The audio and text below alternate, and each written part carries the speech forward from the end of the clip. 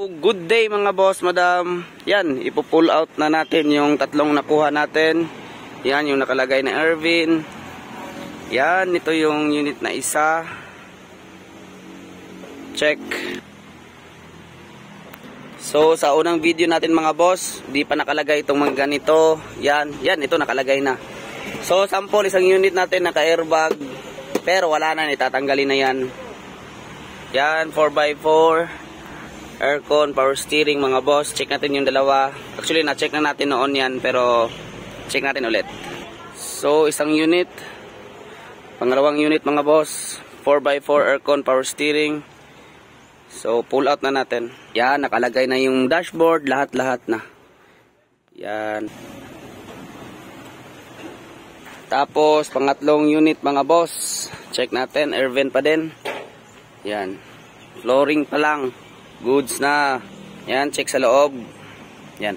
So, sa mga lahat ng parts dito mga boss, tulad nito, dito, uh, bali yung taga-kompleto ko na lang yung bahala. Yung windshield, papalitan, yung mating ilalagay. Kasi minsan talaga mga boss, madam, di ilalagay yung mga maliliit na bagay para di ma-misplace or kung meron mang mahiwagang kamay. Yan. So, pangatlong unit.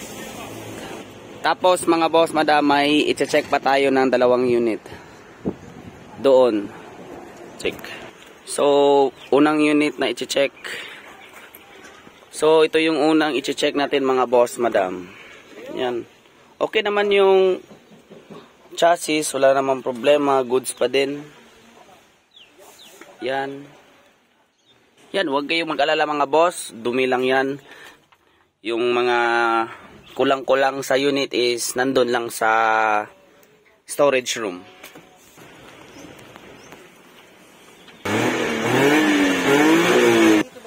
So, okay naman yung andar. So, check natin yung isa.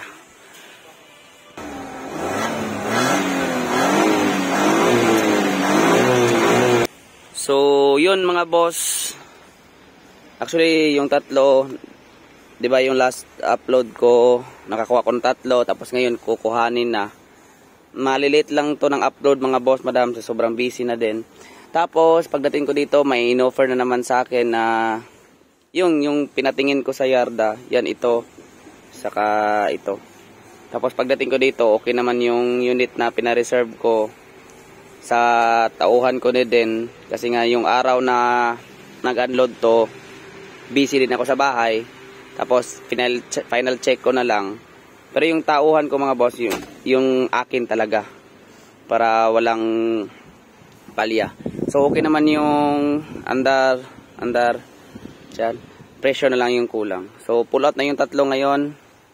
Actually, dalawa lang bukas na sana yung isa kasi short pa sa budget. Walang uh, punta pa ng bangko. So, yun. Tapos, may isang order pa ako na automatic mga boss. Madam, tapos shout out bossing na nandun sa labas sa ibang bansa.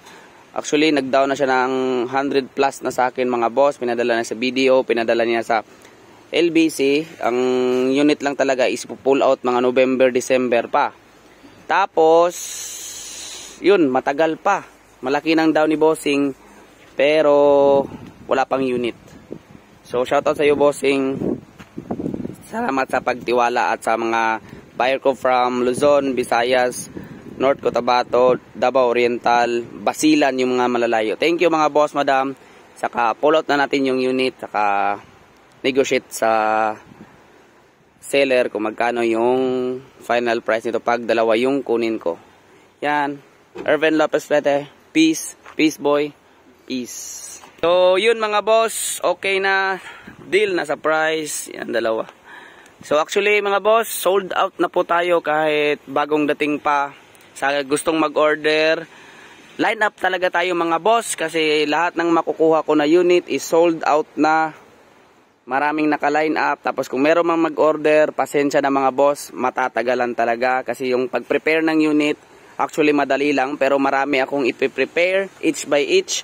So, the more magtagal sa akin, mas okay kasi test drive ng test drive. Lalo na yung mga Luzon yung Luzon talaga yung pinaka kahit matagalan talaga para sure talaga yung biyahe ko. Tapos wala na talagang kumbaga di naman perfect lahat pero yan gagawin ng lahat. So yun yun. Ano pa ba? So 4x4 aircon power steering. Sa gusto mag-order just pay my Facebook account. Sa paano pag-order. Uh, reservation fee lang muna. Tapos pag meron na akong mapakita na unit is um, 50% down payment na tayo tapos yung kulang is the rest pag pull out na so yun lang mga boss madam Um, ako nga pala sa Ervin Lopez Flete, ang nasasabi palagi ng no bulok, no osok, no leak, Class A unit mga boss, madam. Thank you. Peace.